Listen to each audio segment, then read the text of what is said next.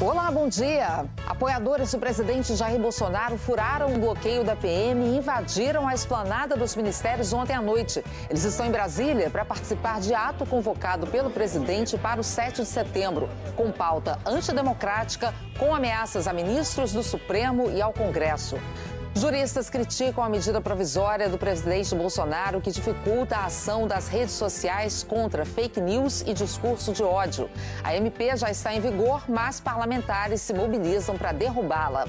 A FIFA abriu uma investigação e deu seis dias para a CBF, a Associação de Futebol Argentino e a Comebol se manifestarem sobre a suspensão do jogo das eliminatórias da Copa. Com o avanço da vacinação, cidades turísticas comemoram a maior taxa de ocupação em hotéis neste feriado desde o início da pandemia.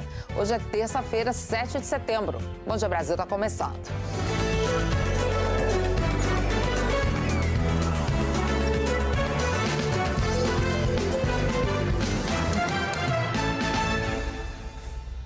Apoiadores do presidente Bolsonaro furaram o bloqueio da Polícia Militar e invadiram a esplanada dos ministérios ontem à noite. Eles estão em Brasília para participar de ato convocado pelo presidente Jair Bolsonaro para hoje, para este 7 de setembro, com uma pauta antidemocrática e ameaças a ministros do Supremo e ao Congresso.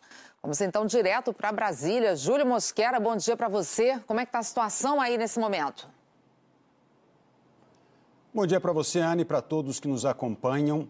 A Secretaria de Segurança do Distrito Federal informou que a situação está sob controle. A PM voltou a bloquear o acesso de veículos à esplanada dos ministérios e também reforçou a barreira para impedir que os apoiadores do presidente Bolsonaro cheguem à Praça dos Três Poderes.